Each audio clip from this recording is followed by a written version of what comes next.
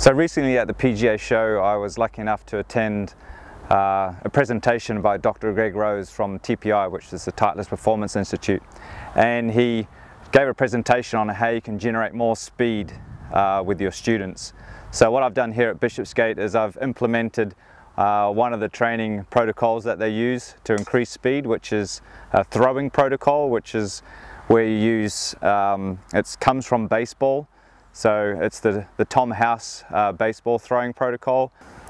Uh, and Tom House was a gentleman that was injured uh, as a baseball pitcher and he used this method to get back into uh, peak fitness to be able to throw at um, full, full capacity or full speed.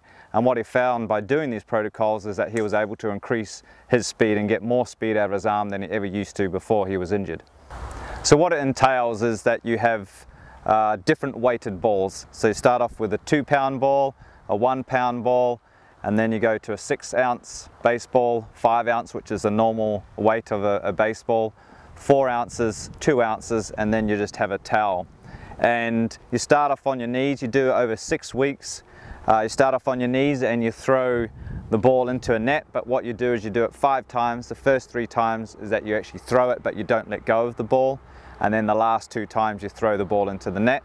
You do it right-handed and left-handed and then you go into the next six weeks which is you go from your knees to a standing position and then after that six weeks you go into an actual where you're stepping back, stepping forward and you've got some motion with the throw as well.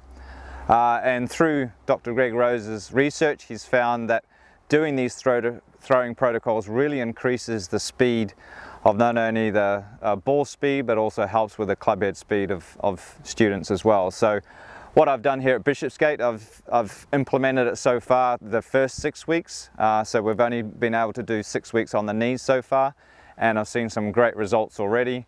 Uh, we've got uh, students that are up to now, you know, they were maybe on 115 miles an hour club head speed before and they're getting up to 119. Uh, and the other interesting thing that fact that we've found is that some of them, maybe their club head speed is the same, but the ball speed is actually coming up faster. So I haven't worked that one out yet, um, but I'd love to maybe speak with Dr. Greg Rose to, to ask his opinion on it. Uh, but we're getting some great results, not only as I said in the club head speed, but the ball speed in particular.